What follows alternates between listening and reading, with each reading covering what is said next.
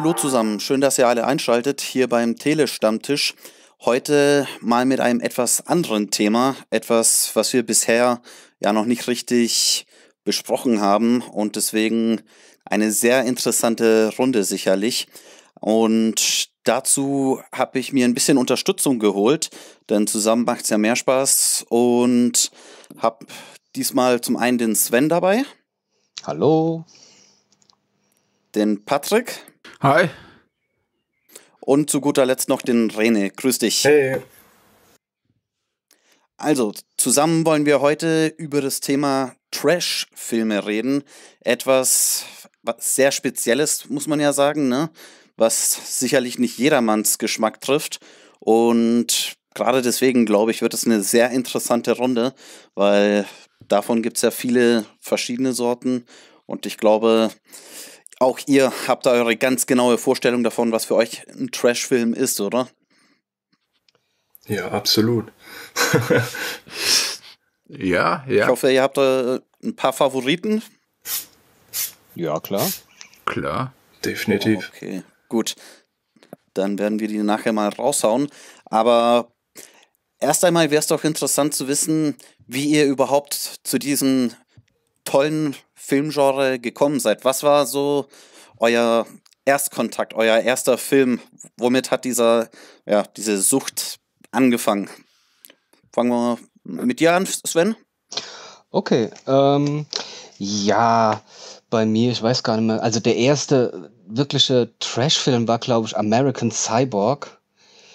Weil damals aus der Videothek ja wirklich alles mitgenommen worden ist, was irgendwie nach Action und Cyborg und Hauptsache Rumgeballer aussieht.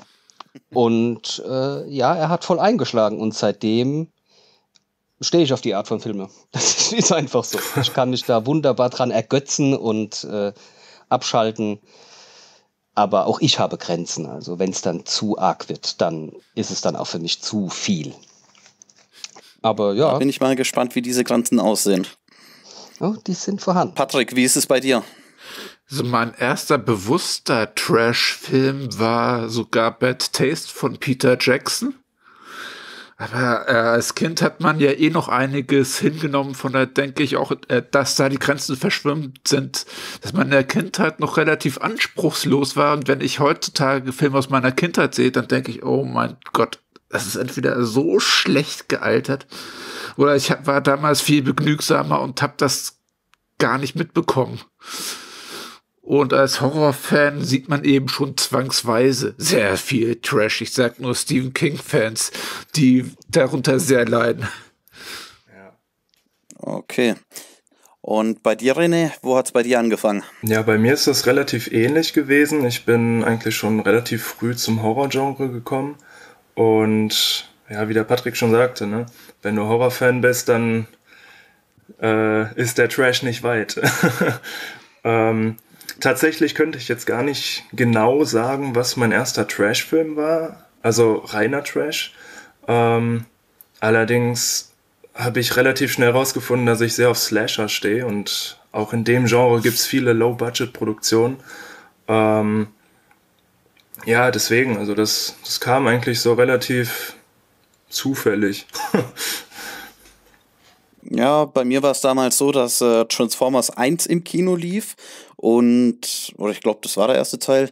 Dann bin ich einfach mal so aus Langeweile in den Mediamarkt reingegangen, hab dann äh, dort zufällig einen Film gefunden, der Transmorphers hieß oh. und natürlich so ein ähnliches Cover hatte. Da dachte ich mir, okay, Sieht interessant aus. Ich habe mir zwar nicht gekauft, aber auf jeden Fall habe ich mich dann mal ein bisschen da erkundigt, habe ein bisschen im Internet recherchiert, Trailer angeguckt und so etwas. Und ja, das war dann so mein Einstieg in dieses Genre und dementsprechend war dann Transform äh, Transmorphers später dann doch noch mein erster Film.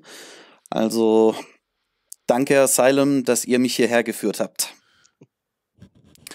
Und jetzt äh, ist allerdings erst einmal die wichtige Frage, wie definiert man wirklich Trash? Weil wir hatten ja schon im Voraus das ein oder andere Gespräch diesbezüglich und da hat man ja gemerkt, dass da jeder eine ganz andere Meinung dazu hat, dass da jeder was anderes sehen möchte, wenn er sich einen Trash-Film anschaut. Und ja, da fängt für mich ehrlich gesagt der Trash schon an, bevor man den Film überhaupt kauft. Und zwar beim Filmtitel, ne? Also, wenn man nur einen Filmnamen liest, kann man denken, dass es ein Trash-Film ist. Da, ja, gibt's genug Mockbuster dafür. Ich weiß nicht, wie ihr das seht. Ähm, ja, ich würde jetzt einfach mal den Anfang machen. Ähm, Trash in der Definition ist für mich immer ein bisschen schwierig, weil ähm, man muss ja zum Beispiel differenzieren, ist es jetzt unbewusst komisch gemacht, ist es bewusst komisch gemacht. Äh, für mich hat auf jeden Fall beides seine Reize. Ähm, und wenn ich an Trash denke, dann denke ich auf jeden Fall an so Klassiker von Trauma. Toxic Avenger, Class of Newcomb High, ähm, Romeo and Juliet, ne? Ähm. Oder auch an so Exploitation- und Grindhouse-Filme, die gehören für mich auch zum Trash mit dazu. Ähm, deswegen, also ich persönlich bin kein großer Fan von Tier-Trash, ähm, sondern ich mag da wirklich mehr diese Klassiker aus den 70ern, 80ern von Trauma und Konsorten. Das ist so für mich die Definition. Okay, dann sind wir zumindest da schon mal ganz anderer Meinung. Aber ja, Patrick, Sven, was sagt ihr dazu? Ähm, ja, ich finde es auch schwer, das Ganze in eine komplette Schublade zu packen. Weil, ja, wie auch schon gesagt worden ist, dieses Gewollte und Ungewollte. Ich zum Beispiel fand Sharknado 1 ganz witzig. Aber als es dann in die Reihe ging und man sich dann wirklich drauf aufgehangen hat und gesagt hat, je, ja geil, je billiger, desto mehr und dann gucken es die Leute noch mehr. Das ist für mich dann kein Trash. Also Trash ist für mich ästhetisch billig. Natürlich schlechte Schauspieler, ein Skript, das höchstens äh, auf den Bierdeckel passt. Aber sie sollen Spaß machen. Hm. Ähm, ja, diese, diese simple Story, was ja auch hier die Exploitation-Filme und so alles tragen, äh, dienen ja nur den Zweck, um jetzt äh, Sex, Gewalt oder Horror irgendwie auszuüben. Und das Gute beim Trash-Film finde ich auch so die 70er, 80er, 90er teilweise noch. Ähm, da wusste, da weiß man, auf was man sich einstellt. Also wenn ich mir jetzt, also ich kann jetzt nur fürs Actionfach reden, wenn ich mir jetzt einen Film mit äh, Gary Daniels anguckt, dann weiß ich genau, okay, gut, äh, kloppen sich da vor Bluescreen und ähm, wenn man Glück hat, findet man auch noch ein paar Styroporbauten und irgendwelche Schauspieler, die schon gestorben sind und dann doch wieder auftauchen. Ähm, ja, und ja, das ist halt, ja, es ist schwer, weil in, man könnte auch sagen, ja, Styroporbauten und äh, von oben gefilmt oder kleine Miniaturen, die man dann doch sieht, dass es dann äh, irgendwo einer nachgebaut hat, hast du ja auch bei den Hammer-Filmen, aber die bezeichne ich zum Beispiel nicht als Trash. Deswegen finde ich es, ja, äh, ist schwer. Ich habe natürlich Favoriten, klar, aber ja, es hat mir, hat mir schon ein paar, äh, schon ein paar Stunden gekostet, da irgendwie einen kleinen Faden zu finden. Also bin ich bei ästhetisch billig, schlechte Schauspieler, sollen aber Spaß machen. Mhm. Bei mir ist Trash auch so ein bisschen so dieses, der Regisseur hat Ambitionen und will einen guten Film machen. Er hat vielleicht auch gute Ideen, aber alles, was er da zustande bringt, bestes Beispiel ist da wirklich The Room, ist halt totaler Murks. Und wie du es schon passend gesagt hast bei Sharknado, da denke ich auch, das ist kalkuliert. Das ist mit Darstellern, die gerade noch so viel Restwürde haben, dass sie nicht ins Dschungelcamp gehen mhm. müssen und deswegen einen Sharknado machen. Aber man hat hier schon ein bewusstes Franchise damit aufgezogen, das mir durchgehend Spaß gemacht hat. Also ich als regelmäßiger Schläferz-Schauer äh, habe die äh, Verrisse von Kalkofe und Co. immer wieder gefeiert und ich habe das auch mit Kumpels dann regelmäßig geschaut. Ich gehe jetzt sogar auch so weit, dass sowas wie äh, Catwoman oder der Spawn-Film, die sind für mich auch Trash. Und das ist nicht nur, weil die schlecht gealtert sind, sondern weil die damals schon absoluter Murks waren. Ja, also ich für meinen Teil habe, äh, was Trash angeht, ja, so die Definition, de, dass da die Effekte schlecht sein müssen. Das ist zum Beispiel etwas, das ich immer mit Trash verbinde, weil wenn du jetzt zum Beispiel Transformers hast, ne, ist ein mieser Film, aber mit guten Effekten. Deswegen, das kannst du, würde ich persönlich nicht als Trash bezeichnen, aber so etwas schlägt da auf jeden Fall mit ein. Dann sollte die Story auch ein bisschen abgedreht sein, also nicht auf dem Boden der Tatsachen bleiben, sondern durchaus ein bisschen abgehoben. Und da kann man dann halt eben auch ein bisschen was Kreativeres erwarten, was man ansonsten gerade in Hollywood im Kino nicht unbedingt zu sehen bekommt. Also da. zu dem, zu dem Thema, dass ein Trashfilm schlechte Effekte braucht, das finde ich persönlich jetzt gerade aus Horrorsicht wieder nichtig, weil wenn ich jetzt gerade an die alten Filme von Trauma denke, äh, in den 80ern, die hatten alle komplett self-made Gore und Splatter und für die Klasse der Filme, also ohne Scheiß. Die Filme damals haben immer noch unglaublich geilen Splatter. Und sie ja, damals, äh, ja. Und sie haben auch irgendwie verhältnismäßig Gesellschaftskritik. Das, was du bei Transformers Absolut, ja. ankreidest, würde ich zum Beispiel auch bei Pacific Rim anwenden. Die bezeichne ich eher als Hochglanz-Trash. Die haben so diesen Charme bis zu einem gewissen Punkt von so alten Monsterfilmen, aber durch das Budget kann man sie nicht als Trash bezeichnen. Trotzdem habe ich total Spaß mit Pacific Rim. Das ist ja wirklich so eine kaiju Kloppe, stumpfester Sorte, aber man merkt, da hat einer Spaß. Und in dem Fall hatte er auch das Budget noch, äh, er hatte auch Talent und deswegen konnte der dann sowas hin, äh, hinzaubern, der Guillermo del Toro. Aber bei den meisten ja. Trash-Filmen fehlt das Talent und das Geld. Und da siehst du mal, was draus wird, wenn da Geld und Talent da ist, aber trotzdem noch so die Liebe fürs leicht Trashige. Man muss ja auch, man ja. muss ja auch dazu sagen, dass viele Leute dem Trash einiges verdanken. Also wenn ich jetzt an Filme wie festhalten, Sizzle Beach USA denke, ich glaube, ohne den wäre Kevin Costner vielleicht nicht so erfolgreich geworden. Oder du hast auch Tromeo und Juliet genannt. Das war doch das Sprungbrett für James Gunn. Also der war damals Troma-Regisseur. Genau. Und George Clooney war in Killer Tomatoes. Also man darf, Stimmt. man darf das Genre nicht unterschätzen. Ja, aber ich glaube, die Zeiten wiederum, die sind vorbei. Weil äh, wenn man sich äh, anschaut, was das damals für Filme waren, dann ja, war das äh, man, man was ganz anderes, wie wenn man sowas ähnliches heute bringen würde. Also ich glaube, in der heutigen Zeit kann ein Trash-Film nicht unbedingt einer Karriere helfen, sondern eher schaden. Äh, wart erstmal ab, was passiert, wenn Covid rum ist. Da ist das Geld erstmal weniger vorhanden. Vielleicht fangen sie dann erstmal wieder mit Trash an, also dass sie sich dann von der Steinzeit wieder hocharbeiten müssen zum Hochglanz-Blockbuster, je nachdem, wie lang der Mist gehen wird. Ich finde auch, ich finde auch, man muss zwischen altem und neuem Trash unterscheiden.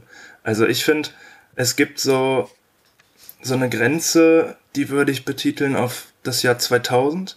Alles, was davor an Trash ist, da habe ich durchweg Spaß mit. Ich meine, Ausnahmen gibt's immer.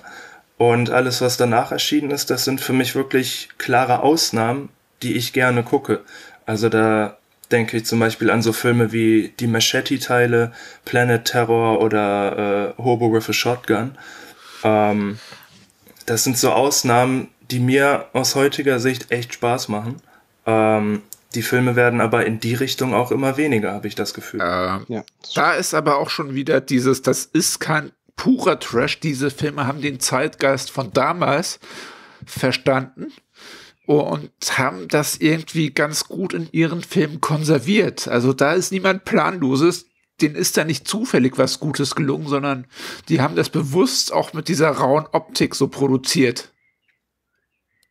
Ja gut, ja, da stehen ja auch halt wirklich andere Namen hinten dran, das stimmt schon. Das steht natürlich außer Frage. Aber, Aber da, da, da, sind wir wieder bei dem Thema unbewusst und bewusster Trash. Mhm. Nee, also auch die Machete-Teile und die Grindhouse-Teile haben mir gefallen. Mir hätte es auch gefallen, wenn äh, Eli Roth hier sein, äh, was war's? Ach, Vater. Werwolf-Nazis oder sowas. ja. Werwolf-Nazis wären auch nicht schlecht, ja. Ähm, äh, ein gewisser Film aus diesen dieser Grindhouse-Wiederbelebung, den mag ich allerdings gar nicht mal so. Und es ist jetzt scheiße, dass jetzt zu dem Zeitpunkt Dieter Laser gestorben ist, weil ich mag die Human Centipede-Filme einfach nicht. Und die sind eigentlich mit auf dieser Grindhouse-Welle mitgeschwommen. Ah, das finde ich jetzt aber gar nicht so. also ist aber sie wurden mal als Grindhouse-Trailer, wenn ich mich nicht täusche, angekündigt und auch mit diesem rauen, körnigen Look. Zumindest der erste Teil. Ja. ja. ich persönlich muss für meinen Teil zugeben, dass ich, äh, was diese älteren Filme angeht, eher draußen bin, weil ich äh, mich eher auf den in Anführungszeichen modernen Trash ähm, ja, spezialisiert habe, weil ich eben mit dem aufgewachsen bin, kann man quasi sagen. Und dementsprechend bin ich da nicht so mit vertraut, was die älteren Filme angeht. Auch, auch wenn ich zuletzt eine, eine richtige Trashperle gefunden habe. Ich glaube, ich weiß gar nicht, von wann ist denn der Film gewesen. Kennt ihr Das Grauen aus der Tiefe? Ja. Sagt euch das was? Mm, nein. Hum Humanoids from the Deep oder irgendwie so spricht man denn aus. Ist auf jeden Fall auch ein ziemlich alter Streifen, aber ja, damals hatte man halt eben statt Effekte irgendwelche genialen Kostüme, ne? Also geniale Monsterkostüme und Splatter haben wir ja vorhin auch schon angesprochen, wie der damals ausgesehen hat. Das ist heutzutage nicht mehr modern, aber sieht immer noch unterhaltsam aus, ne? Wenn man den Gore von damals heute sieht. Ich finde halt ich bei den, bei den heutigen Trash-Filmen hast du jetzt, ob es jetzt Asylum ist oder das ist wirklich alles am Computer gemacht. Ja. Das, und das sieht natürlich, klar, sieht schlecht aus und man denkt, ach ja, aber äh, die, die früher haben sich einfach, einfach Mühe gegeben. Okay, gut, man hat natürlich einige Sachen mehrfach verwendet, ist es aber das ist egal. Ich meine, irgendeiner hat es gebaut, hat sich da wirklich, hat da wirklich Arbeit reingesteckt, was jetzt nicht heißt, dass am Computer sowas zu erschaffen keine Arbeit ist, aber es nimmt einfach ganz viel Flair weg. Wir sind also so gesehen wirklich noch diese alte Generation, die auch wirklich gern so Handgemachtes hat. Absolut. Sagen wir es einfach so. Ich meine, ich bin wahrscheinlich der Jüngste hier in der Runde, aber absolut. Ich habe zehnmal lieber Handmade Splatter als computergenerierten Müll. Ja, ich mag das auch nicht, wenn dann CGI-Blut kommt. Da habe ich es lieber, wenn da irgendwie so ein Luftballon ist voller Blutkonserven, der dann auch platzt und das so ein bisschen ja. in die Kamera spritzt. Das es hat halt seinen Charme. Aber Eben. das machen sie, Entschuldigung, aber das machen sie heute heut auch nicht mehr. Also ich finde bei, bei, äh, bei CGI-Blut, hier John Wick oder so, John Wick absolut genial, keine Frage. Aber da hätte ich es halt auch lieber gehabt, wenn sie richtige Bloodpacks wie damals bei Hardboiled oder hier, was ja halt John Woo und so immer gern benutzt haben das sieht einfach dann noch krasser aus. Und manchmal sieht das wegspritzende Blut einfach, einfach scheiße aus. Denkst du, oh nee, hopp, oh nee, das muss doch jetzt nicht sein. Ja, es kommt, in meinem Fall muss ich zugeben, es kommt drauf an, ähm, was genau äh, per CGI en entsteht. Also beim Bluter gebe ich euch zu 100% recht. Wenn jetzt äh, so das Ganze am Computer entsteht, dann sieht es einfach mies aus. Egal welche Form von Blut, ob Alien oder Menschen oder sonst irgendwas, wenn da Körperteile zerfetzt werden, das sieht äh, praktisch einfach viel besser aus, selbst wenn man es nur, ja, wenn man es nicht ganz professionell macht. Aber wenn es jetzt eben andere Effekte sind, seien es jetzt zum Beispiel irgendwelche Monster oder so etwas, dann muss das nicht unbedingt praktisch sein. So sehe ich das. Ja, es kommt halt drauf an, wie es wirkt. Also, also mir fällt da zu dem Thema jetzt ein Film ein, ich weiß nicht, ob ihr den kennt. Äh, das ist auch ein neuerer Trash-Film, der heißt Bitch Slap. Und oh ja. ich glaube, einen Trailer habe ich mal gesehen. Und ich finde es vollkommen in Ordnung, wie der Film entstanden ist. Ich hatte auch echt Spaß mit dem Film. Aber es gab eine Szene, da dachte ich mir so, das hätte jetzt echt nicht sein müssen. Da sieht man gegen Ende die Protagonisten in einer Tiefgarage und diese Tiefgarage ist im Greenscreen entstanden.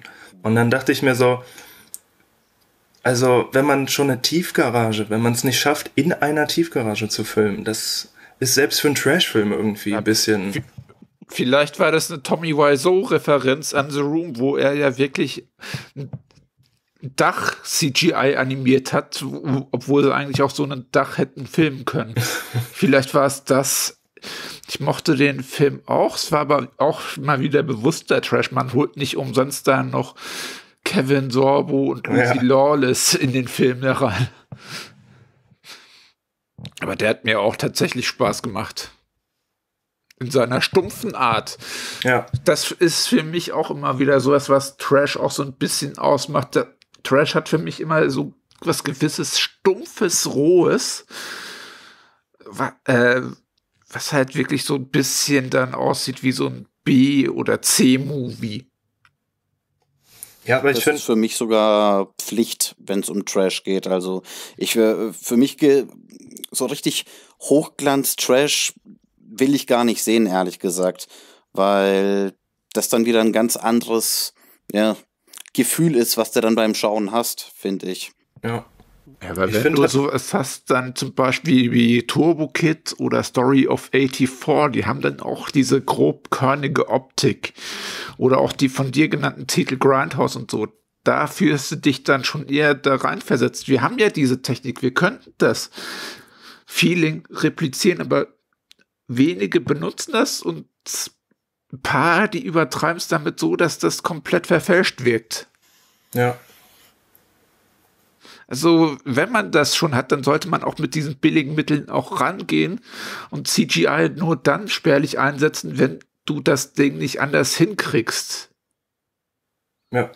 Also als unterstützendes Mittel. Ich nenne da als Beispiel da das Chucky Reboot oder an der letzten Seed of Chucky, da wurde ja dann das Gesicht doch nachträglich animiert. Da dachte ich mir auch schade. Ja, dieses alte Knautschgesicht, das fand ich dann doch besser, auch wenn das neue so ein paar bösere Nuancen noch dazu hat. Aber ich mochte den handgemachten Chucky dann eben doch viel mehr. Ja, ich denke mir halt auch gerade heute hat man viel bessere Animatronics als damals in den 80ern oder 90ern und wenn man da an den passenden Stellen CGI einsetzt, dann kann das deutlich effektiver sein für den Film, als wenn man so eine Figur halt komplett an den Computer entwirft. Ja, also siehst, ich, ich, ich finde, das siehst du halt einfach auch, wenn also dieses rein animierte, außer du hast jetzt wirklich absolute Hochglanzproduktion, wo man da doch schon manchmal denkt, okay, gut, ist jetzt echt oder nicht. Ähm, aber ja, dieses Handmade macht's einfach aus. Wobei ich habe schon etwas, das würde ich als neueren Trash-Film bezeichnen noch in petto. Ich bin großer Hellboy-Fan und ich war echt zwiegespalten, als dann Neil Marshall an den neuen Hellboy gesetzt wurde. Und das hat ja teilweise schon solche hässlichen Effekte, als hätte man der Photoshop Philipp an, an die Animation dran gesetzt. So hässlich sieht das da teilweise aus. Da vermisst man wirklich diesen handgemachten, ja, wir wiederholen uns in Hinsicht handgemacht, merke ich gerade. Stil von Del Toro, der dieses CGI auch immer nur unterstützend eingesetzt hat, wenn es nicht anders ging. Oder irgendwas nochmal verstärkt werden musste. Okay, ähm, du hast ja gerade selber gesagt, wir wiederholen uns, was äh, das Thema angeht. Deswegen würde ich mal mh, zum nächsten Bereich überspringen. Oder möchte noch jemand was zu dem Thema sagen? So Effekte, Kostüme. Hat da noch jemand was hinzuzufügen? Ich glaube, da wurde alles gesagt jetzt. Okay. Dann ähm, gibt es da nämlich noch eine andere Kleinigkeit, was ich persönlich wichtig finde bei Trash. Und zwar eine schlechte deutsche Synchro. Also, wenn ich die Filme auf Deutsch anschaue und dann teilweise höre, wie manche Texte dort ausgesprochen werden, dann kann alleine das schon lustig sein. Einfach weil es total over the top dann äh, ja, betont wird teilweise. Gut, da, Weiß nicht, ob ihr da irgendwelche Erfahrungen gemacht habt oder eine Meinung zu habt. Was das, aber für mich ist das auch. Was das Thema deutsche, deutsche Synchro angeht, da bin ich eher raus, weil tatsächlich, wenn ich Trash-Filme gucke, dann äh, gucke ich sie meistens im O-Ton. Ähm, außer es sind jetzt wirklich ja, größere Produktionen, sowas halt wie Machete oder so, das gucke ich dann auch gerne mal auf Deutsch. Aber gerade da ich halt viel von diesen Trauma-Sachen gucke, die gibt es dann teilweise auch nicht auf Deutsch und ja, da erübrigt sich das dann für mich. Okay. Stehe ich dann äh, mit diesem kleinen Faktor alleine da? Gibt es da niemand, der da noch Wert drauf legt? Gibt auch zu aktuellen Blockbustern teilweise richtig schlimme Synchros, aber deswegen sind die nicht automatisch Trash. Ich finde, bei nee, einer, ich finde, eine Synchro sollte das Gesehene gut unterstützen. Wenn das scheiße ist, willst du halt eine scheiß Synchro. Wenn das gut ist, erwartest du halt eine entsprechend glatte oder nicht ganz so grobkörnige Synchro, sondern eher dann wirklich sowas, was diese ganzen Nebengeräusche rausfiltert, würde ich mal sagen. Also für mich ist eine schlechte Synchro jetzt nicht unbedingt ein Faktor für Trash, sonst könnte man auch sinnlos im Weltraum als Trash dann auch zuordnen. Das mag ich sehr. Ja, also es ist jetzt kein Ausschlusskriterium bei mir, aber es ist äh, durchaus etwas, ähm, das ich begrüße, wenn ich mir jetzt irgendwie einen billigen Film angucke und dann halt eben auch teilweise die Betonung daneben ist, dann unterstützt es einfach den Spaß teilweise. Aber gut, wenn das jetzt ähm, allen anderen nicht so wichtig ist, oder möchte noch jemand was äh, dazu sagen? Zum Thema Synchro? Nö. Okay. Gut. Ähm, ja. Hat jemand von euch einen Wunsch, womit wir weitermachen sollen? Etwas, was er unbedingt ansprechen möchte? Hm, was sind denn eure Lieblings-Trash-Filme? Ich schmeiß mal direkt dreisterweise Rubber in den Raum. Der ist einfach so strumm. Die Idee über einen Killerreifen ist einfach so abgedreht und mit einem so seltsamen Meta-Humor inszeniert, dass ich an dem Film einfach irgendwie schon mal einen mhm. Spaß habe. Ja, reine Willkür, ne? genau. nee, Rubber ist wirklich eins von diesen Beispielen, den Film könnte ich auch immer wieder gucken. Äh, wie du schon sagst, diese Art des Humors, die ist echt spitze. Ähm, die Idee ist total unverbraucht und ja, der Film macht einfach Spaß. Also ich meine, wenn, wenn ein Reifen durch die Wüste fährt und sich mit einem Hasen anlegt, ja, no Spoiler, aber das macht einfach Spaß. Oder wenn dann die äh, quasi am Schluss sagen, ja mein Gott, was ist das für ein sinnloser Film? Und der Reifen darauf reagiert schon allein. auf wie viele komische Arten kannst du einen verdammten Reifen inszenieren, ohne dass es langweilig wird oder zu äh, ja, wie kann man sagen, ohne dass es zu billig aussieht. Ja. Das, das fand ich halt das Meisterstück an diesem Film. Nee, bei Rubber, ich, bin, ich, bei Rubber bin ich ähm, das war sogar mir zu blöd. Nein, Quatsch. Also, der ist gut. Also, was ich so gesehen habe, war schon gut, aber von der Thematik her dachte ich, äh, keine Reifen. Nee, nee, nee. Nee, nee, dann, dann gucke ich mir lieber irgendwelche Laserkanonen an. Wäre der nee, aber da, das, gewesen. Das, das, das ist, nee, das, das Nix für dich. Wir sind also an deine Grenzen gestoßen. Und das direkt äh, auf den ersten Anlauf. Geil. Fast. High five. yes. Nee, aber ja, damit ist das, ja, mit, mit, mit so, ah, mit so Sachen, genauso wie Killer Sofa war, glaube ich, auch, gibt's, glaube ich, auch. Ich habe auch Attack of the Donuts gesehen, der war ja auch so unfassbar kacke. Das hat wehgetan, den zu sehen. nee, bei mir sind es. gibt ja auch äh, Kiffer versus Killer-Moskitos, also von dem her. Äh, es gibt. Das muss ich mal angucken. Es gibt einen Trash-Film, den hab sogar ich unterbrochen, weil er mir too much war. Der hieß Bong of the Dead. Oh ja. Ah ja, die Geiler haben Titel. quasi Zombie-Hirne verarbeitet und geraucht. Gab's Leute, die haben mit so Chopsticks, also Zombies, die haben mit so Chopsticks dann das Hirn gegessen. Oh, Ach, das Ja, man muss schon sagen, äh, Zombie und Trash ist nochmal ein ganz anderes Level. Zombies gibt's mittlerweile zu allem. Da, da war es klar, dass das meistens die Trash-Sparte bedienen muss. Ja. Aber auch das hat relativ früh angefangen. Also in den, ich meine, es waren die 70er, auch da hatte Troma wieder die Finger im Spiel mit Redneck-Zombies. Äh, ja. Aber ist so gesehen äh, Troma nicht ähnlich wie Asylum, dass die auch sehr, sehr viel bewussten Trash machen? Ja, die machen komplett bewussten Trash, aber haben dabei trotzdem immer noch den Ansporn, das, was sie machen, so gut es geht zu machen.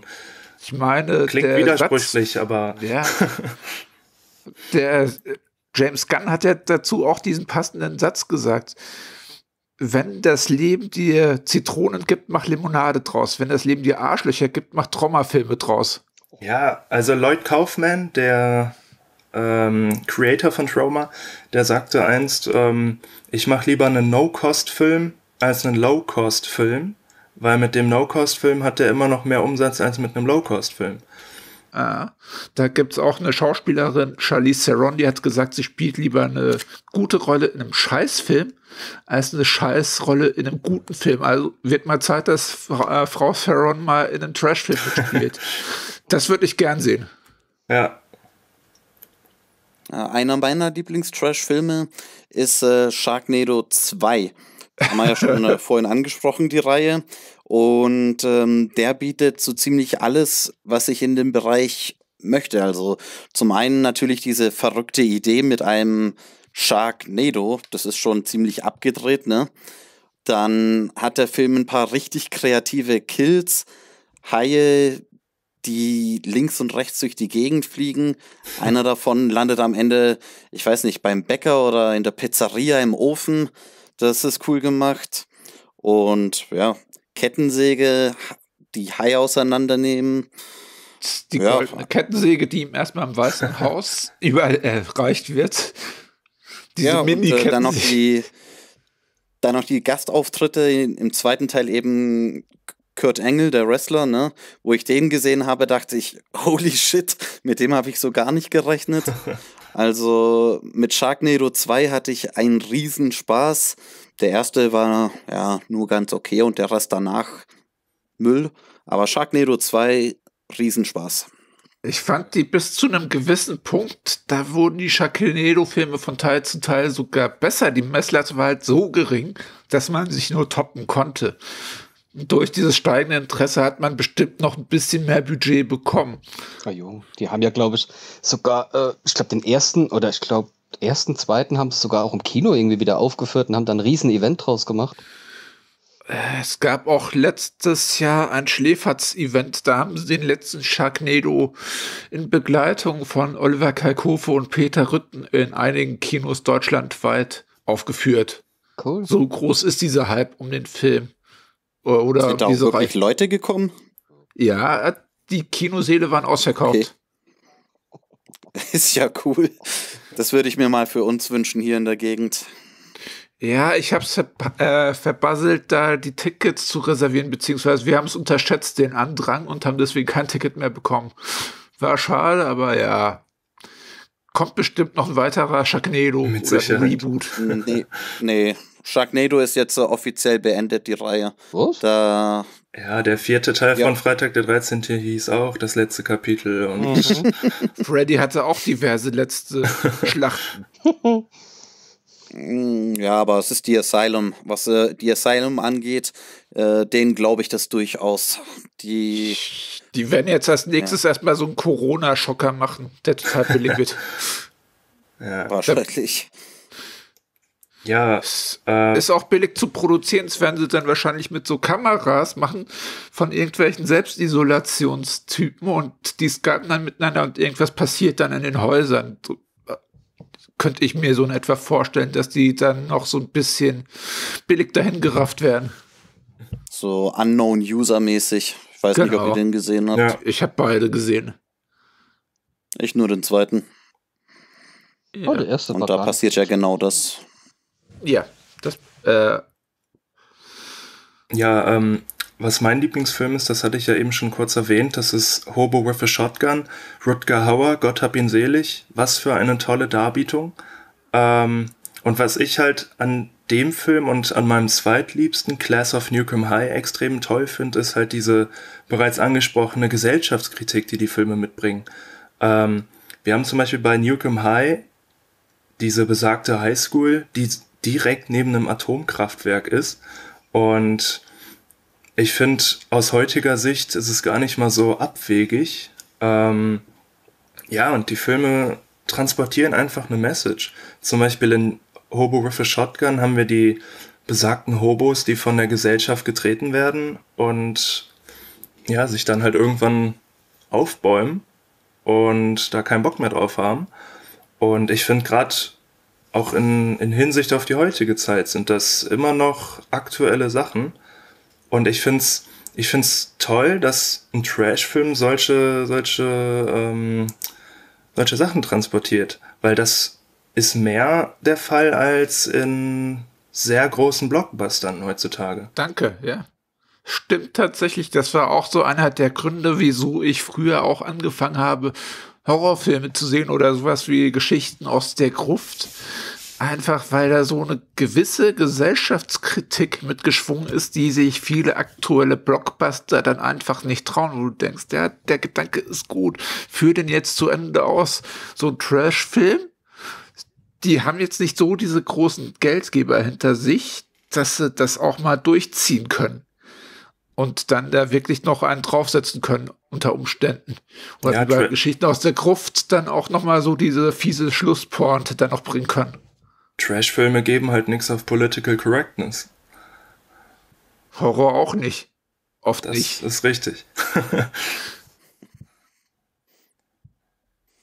Na, und äh, was ich persönlich äh, an Trashfilmen so wie ich sie eben mag, äh, sehr zu schätzen weiß, ist die Kreativität dahinter. Weil das sind jetzt eben Filme, da musste teilweise mit der, Log äh, mit der Lupe nach der Logik suchen, einfach weil sie so total abgedreht sind.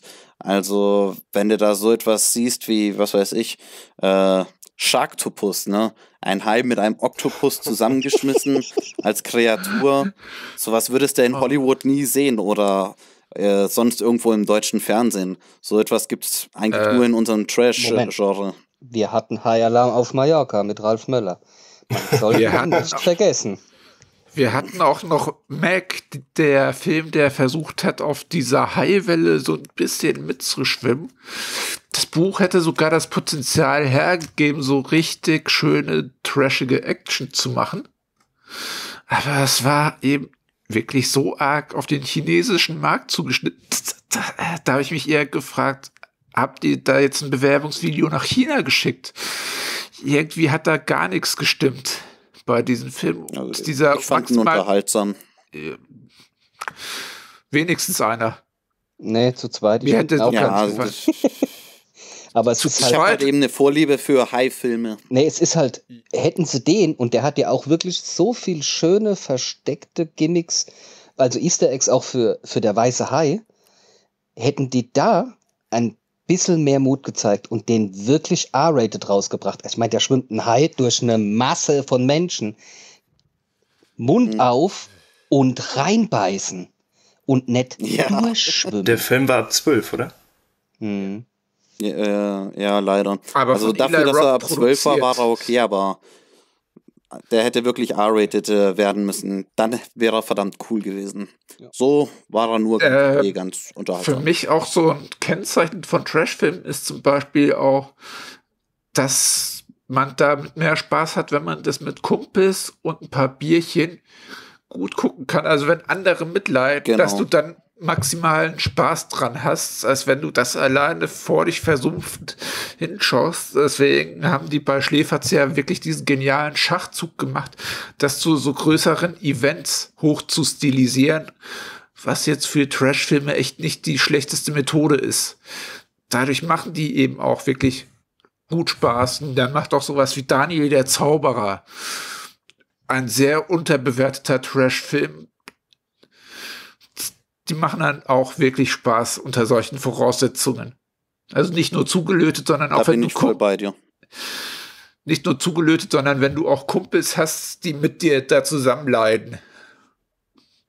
Ja, und äh, mit denen du dich gemeinsam über den Film lustig machen kannst.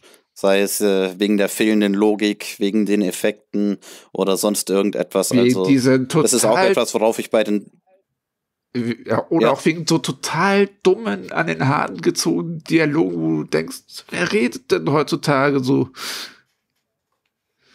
Ja, oder wer verhält sich so blöd? Wer macht in so einer Situation so etwas? Aber gut, bei Horrorfilmen denkt man das sowieso fast immer. Ich nenne das, ich nenne diese Dialoge einfach so blaues Licht-Dialoge. Wir alle wissen, worauf ich damit anspiele. Die sind einfach so stumpf, dass das schon allein manchmal diese Dialoge so ein Trash-Film ausmachen. Und da spielt dann wieder, was du erwähnt hast, zum Beispiel eine beschissene Synchro mit rein. Wenn die Synchro dann in dem Idealfall dann noch beschissen ist, dann ist der Spaßfaktor noch mal höher. Aber es ist kein Grund für einen Trash-Film. Ja, keine Grundvoraussetzung, das stimmt. Ja. Genau. Also, wie gesagt, das Thema Kreativität, da äh, dafür schätze ich das Genre sehr, auch weil ich mir gestern erst ähm, Big Ass Spider angeschaut habe, was auch ziemlich abgedreht war. Das, äh, auch etwas, das bekommst du ansonsten einfach nicht zu sehen, wenn du dich nicht in solche Gefilde wagst. Und dafür liebe ich die einfach. selten siehst du in so Genres so wirklich so schöne Monsterkloppereien, sowas wie Dragon Wars oder sowas, das würdest du hier gar nicht sehen. Oder Shin Godzilla. Godzilla ist für mich, bis es dann Großartiger irgendwann, Film. ja, bis es irgendwann von Roland Emmerich dann entdeckt wurde, war, waren das für mich so durchgehend Kaiju-Trash-Filme, die aber auch ihren Charme hatten, die Spaß gemacht haben. Da hatte auch der Typ in den Gummianzug bestimmt immer wieder seinen Spaß mit. Ja, so in der heutigen Zeit äh, sind die alten Godzilla-Teile zum Beispiel durchaus trashig, kann man sagen. Damals war das natürlich noch was anderes, aber in der heutigen Zeit, alleine aufgrund dieser Kostüme natürlich äh, trashig. Gerade wenn du Kong gegen Godzilla anschaust, den alten Teil, da hast du so viel zu lachen. Das ist einfach Ja. super. Das ist für mich zum Beispiel auch einer der Gründe, wieso ich den letzten Godzilla-Film gar nicht mal so schlimm fand. Ich fand, das war ein Geschenk für diese ganzen Trash-Fans, die mal ihre Monster wirklich schön aufbereitet und präsentiert sehen wollten. Für die ist das ein Geschenk gewesen, dieser Film. Ja, so, so habe ich das auch gesehen. Also für mich war der neue Godzilla zwar kein Trash-Film, weil er ja dazu nicht trashig genug war, aber ich hatte auch eine Menge Spaß mit ihm, einfach weil es eine riesen, ja, eine riesen Schlacht einfach war, eine riesen Zerstörung, Spaß, Ende. Man hätte nur ab und zu mal diese Menschen wegschneiden können. Die haben in den Film dann doch teilweise ausgebremst und genervt. Ansonsten, ja, diese Menschen. Sorry. Ja, ich finde, Ja, weil das jetzt ja. angesprochen worden ist, ich finde ähm, zum Beispiel die Universal Collection von Dracula, Frankenstein und so, die finde ich auch großartig. Äh, einfach um zu sehen, wie die Figuren quasi ihren Anfang hatten.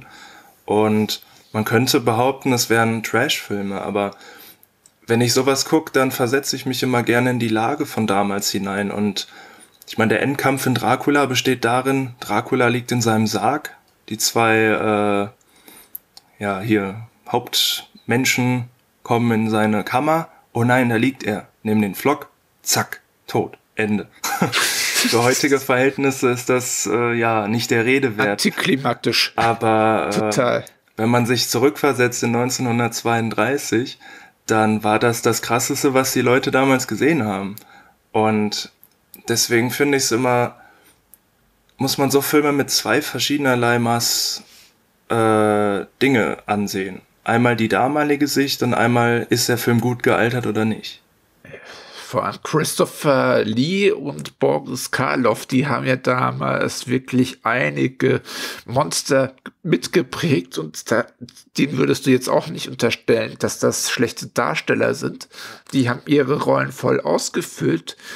Aus heutiger Sicht kann man sogar von einigen Trash-Filmen und von einigen Schwarz-Weiß-Filmen in Sachen Bildgestaltung und wie was gemacht wird, eben viel lernen oder eben wie was nicht gemacht wird, würden sich mehr Leute hinsetzen und mal so Trash-Filme schauen und das durchstudieren, würde man auch auf einige Ideen kommen. Nicht umsonst ist zum Beispiel ein Mike Mignola auch inspiriert oder ein Guillermo del Toro sehr inspiriert auch von alten Monster-Trash-Filmen weil da wirklich so ein paar Ideen abgefeuert werden, die hast du nicht, wenn du dauernd auf so ein Millionenbudget achten musst, sondern die kommen dir nur, wenn du da komplette Narrenfreiheit hast und dich da komplett austoben kannst in deiner kranken Fantasie und allem.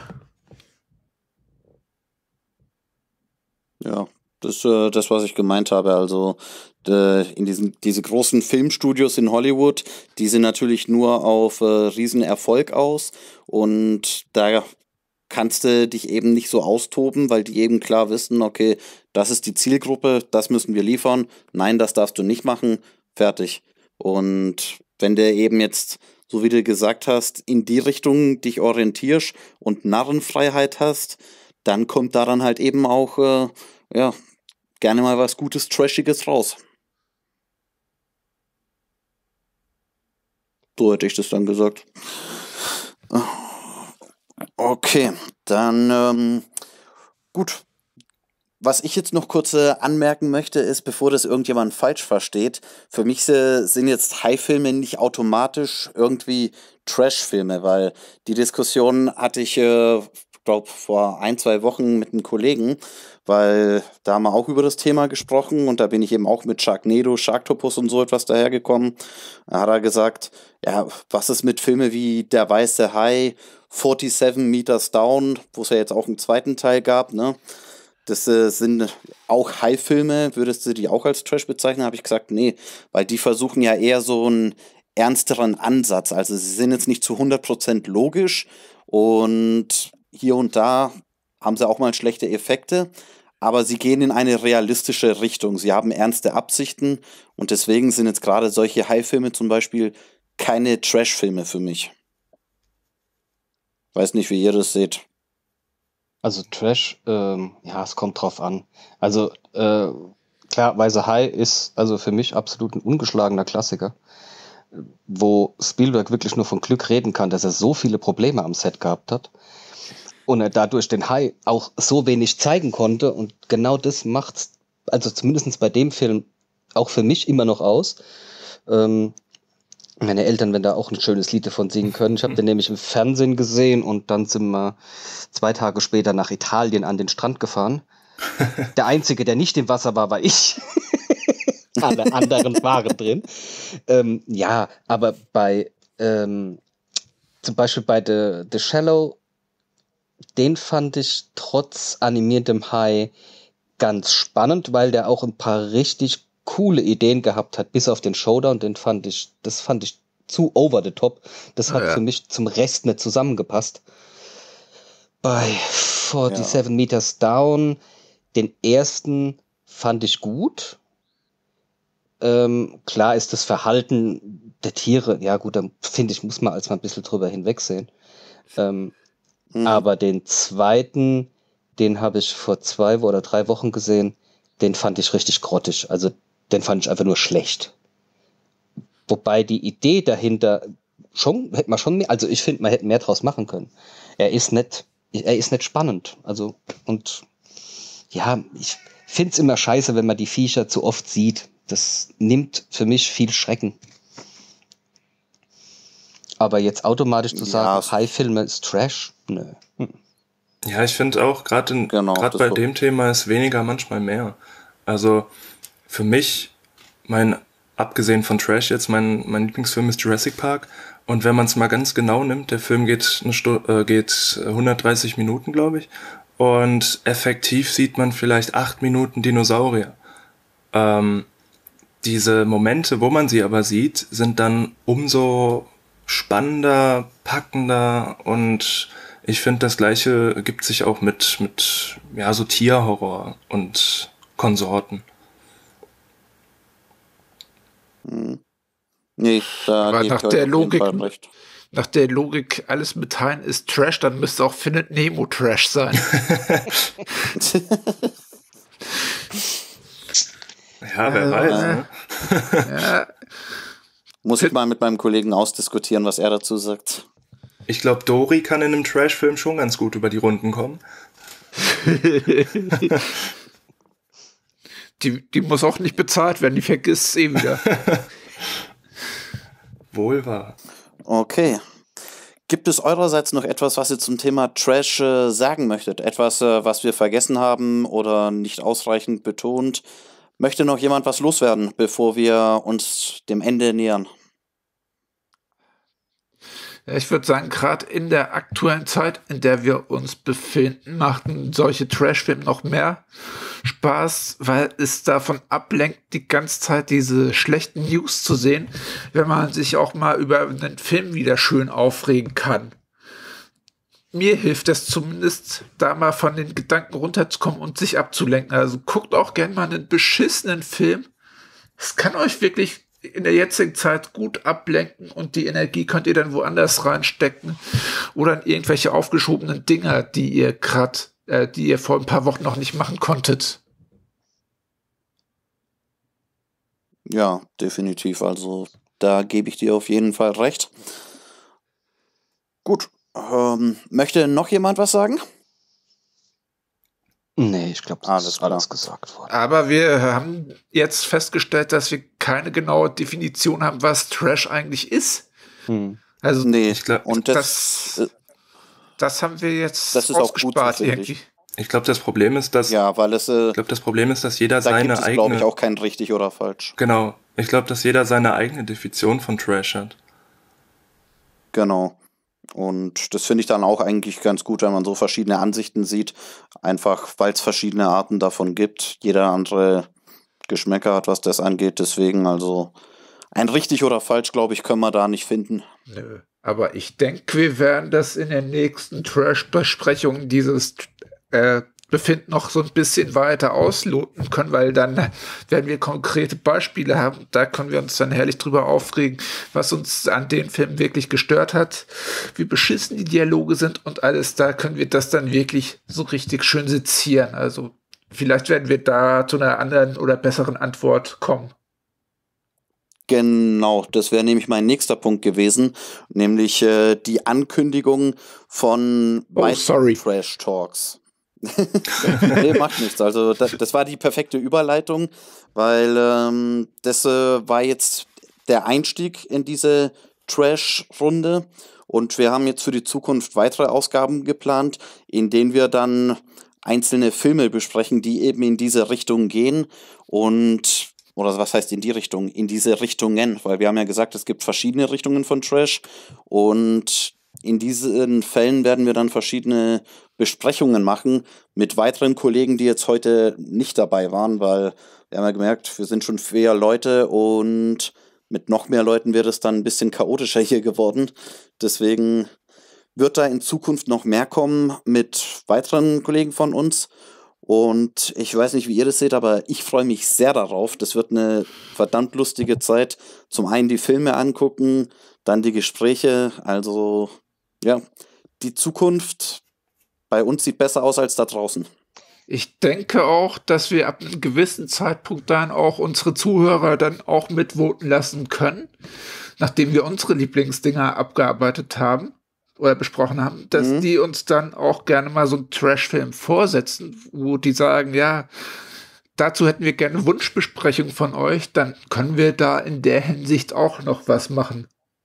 Würde ich sagen. Sehr gerne, ja, aber, de, aber ihr wisst, ihr könnt euch damit euer eigenes Grab schaufeln. Gell? Natürlich. Kann nur schief gehen. Aber ich gebe dir recht. Das sollte man dann auf jeden Fall mal machen. Okay. Aber gerade bei solchen beschissenen Filmen machen dann auch die Besprechungen mehr Spaß. Da freue ich mich dann mehr auf die Besprechung als auf das Filmschauen, wenn dann wirklich so drei Leute da aufeinandertreffen oder auch vier bei denen sich das Ganze dann entlädt, das stelle ich mir dann wieder schon sehr spaßig vor. Ja, absolut. Also ähm, das war schon öfter so, dass äh, die Besprechungen lustiger waren als der Film an sich. Gerade in den äh, Runden mit den Freunden, wo du ja vorhin angesprochen hattest, ne? Da machen die Gespräche dann mehr Spaß als der Film. Aber Oder von, das ist ja dann auch in Ordnung.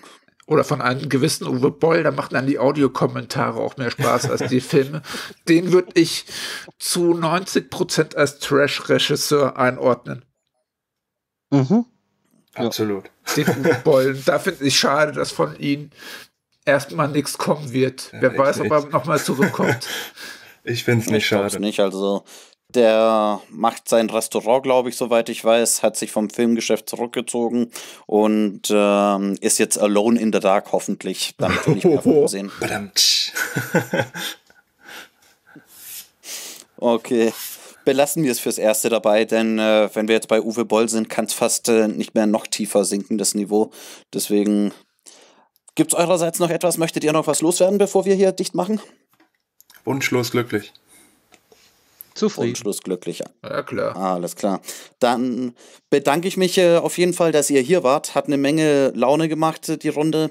Und ich freue mich auf jeden Fall auf weitere Runden mit euch, gerade in diesen Bereichen. Das wird eine gute Zeit. Dankeschön auf jeden Fall meinerseits. Danke auch bei den, Zu äh, bei den Zuhörern, die sich das Ganze jetzt angehört haben. Ich hoffe, auch ihr hattet so viel Spaß wie wir hier. Und ich hoffe, wir hören uns bald wieder. In diesem Sinne wünsche ich allen einen schönen Abend. Euch auch, Jungs, ne? Tschüss. Danke, klasse. Bis dann. Ich schlafe heute nur mit blauem Licht. ja, ciao.